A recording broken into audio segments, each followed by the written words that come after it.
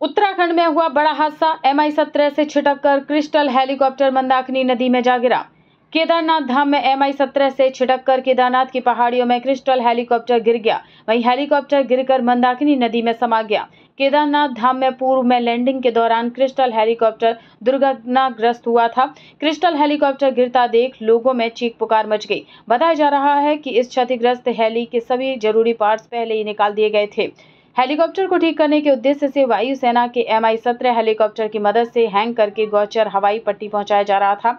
इस दौरान एम आई सत्रह डिसबैलेंस होने लगा। खतरे को भापते हुए पायलट ने खाली स्थान देखते हुए हेली को घाटी में ड्रॉप कर दिया। जिला पर्यटन अधिकारी राहुल चौबे ने बताया कि शनिवार को हेली को ठीक करवाने के लिए गौचर हवाई पट्टी ले जाने की योजना थी, जिसके अनुसार सुबह सात बजे करीब वायुसेना के एम आई सत्रह हेलीकॉप्टर से क्रिस्टल एविएशन के हेली को हैंग कर गोचर पहुँचाया जाना था। थोड़ी दूरी पर जाते ही हेली के भार एवं हवा के प्रभाव से एम आई सत्रह का बैलेंस बिगड़ने लगा, जिसके चलते थारू कैंप के नज़दीक पहुँचने पर एम आई सत्रह से हेलीकॉप्टर को ड्रॉप करना पड़ा। हेली में कोई यात्री या सामान नहीं था। सूचना मिलते ही रेस्क्यू टीम मौके पर पहुँची। टीम स्थिति का मुआयना कर रही है। उन्होंने सभी लोगों से अपील की है कि हेली क्रैश में किसी के हताहत होने संबंधित अफवाह न फैलाएँ।